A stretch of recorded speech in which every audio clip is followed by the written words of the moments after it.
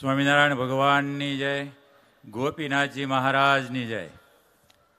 આજના વક્તા શ્રી નીલકંઠ સ્વામી, તેમજ ચેરમેન શ્રી હરિજીવન સ્વામી, ભાનુ સ્વામી, તેમજ વડીલો વડીલ સંતો, સમગ્ર સંતગણ પધારેલા દેશ દેશથી હરિભક્તો, ભાઈઓ, બહેનો અને બાળકો. ખૂબ ખુશીની વાત છે, એનું વર્ણન ન થાય એવી વાત છે. વર્ષોથી કોઈ વીક એવું ખાલી ન હોય કે આપણા સ્વામિનારાયણ સંપ્રદાયમાં ઉત્સવ ન હોય અને ધામધૂમ ન હોય. ગઢડા નહોતા થતા એવી વાત નથી, પણ એકદમ જે ગઢડા, જે આખા વર્લ્ડનું મોટામાં મોટું ધામ છે, એમાં નાના નાના ઉત્સવ થતા હતા.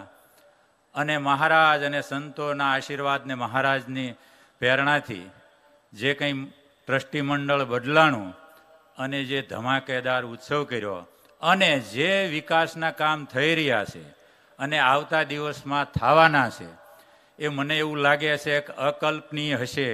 ઘેલો નહીં અહીંયા હું એવું ધારું છું કે ભાઈ લાલજીભાઈએ વાત કરી હોસ્પિટલની, તો જીવરાજભાઈ ગાબાણી મારી બાજુમાં બેઠા હતા, એણે કીધું આજ સવારે જ હોસ્પિટલનું ખાત મુહૂર્ત થયું.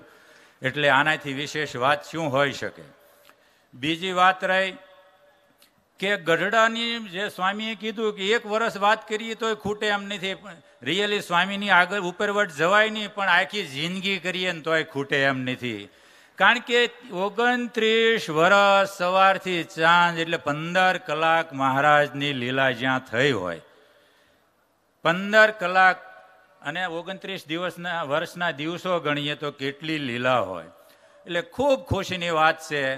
અને જે રીતે સત્સંગ મંડળ આર્થિક રીતે આગળ વધી રહ્યો છે અને જે રીતે સત્સંગ જ્યાં જ્યાં મંદિરો હોય, ત્યાં જે જે પોતાનું યોગદાન આપી રહ્યા છે, એમને પણ જેટલા બિરદાવીએ એટલા ઓછા છે. અને આ ઉત્સવમાં જે જે કોઈ મેઇન યજમાન, જે પ્રાગજીભાઈ જોટિંગડા સહિત સહયજમાન કે જે જે યજમાન એને મહારાજ હજારની લાખ ગણું કરીને આપે એવી શુભકામના સાથે મારી વાત પૂરી કરું છું. જય સ્વામિનારાયણ.